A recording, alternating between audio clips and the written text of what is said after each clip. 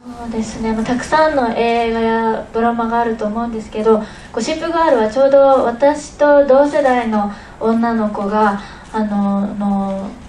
海外であのライフスタイルが憧れだったり、あこの海の向こうではこんなことが起きてるんだっていう 憧れだったりあとお話の展開がすごく早いので、もうのめり込んで見ちゃいますね、私はセリーナがすごくあの憧れで、ファッションもそうなんですけどあのグラマーな体型もすごくいいなと思うんですけどあと参考にしているのはブレアのファッションで日本でもあの買い物とかに行ってお店の人がこれゴシップガールでよくブレアがつけているカチューシャのブランドなんですよって言われるとつい買っちゃったりします、はい。えー、ファーストシーズンの頃から、ダンが一番素敵だなと思ってたんですけど、どんどん見てくるに来るにつれてダンは結構誠実な男性だと思ってたんですけど、はい、結構そうじゃないかもみたいに だんだん思ってきたのででサードん？今まで放送された最新はサードシーズンサードシングルサードシーズンの頃にはなんかチャックもちょっと気になるなってチャックが気になって今終わってます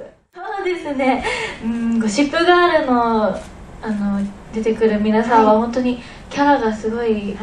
濃い方なので AKB にはちょっといないかなって思うんですけど みんな結構普通ですね。でもあの秋元さやかっていうメンバーがいるんですけど、あのゴシップガール見ててバネッサに似てるなって思ったのでもし 実写するならなんかあの正なん正義感だったり、さやかっぽいなって思いながら見てて今バネッサさやかにしか見えない。えー、セリーナとブレアの恋愛模様もすごく気になるんですけども、えー、シーズン4から新しいキャラクターも登場するということでその人たちがどんな役割を果たすのかもすごく楽しみにしています。小島春菜さんにもう一度大きな拍手をお願いいたします。小島さんどうもありがとうございます本日のスペシャルゲストの小島春菜さんでした。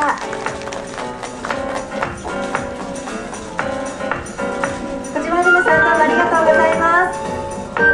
皆様どうぞ拍手でお送りください AKB48 の小島春菜さんにスペシャルゲストとしてご登場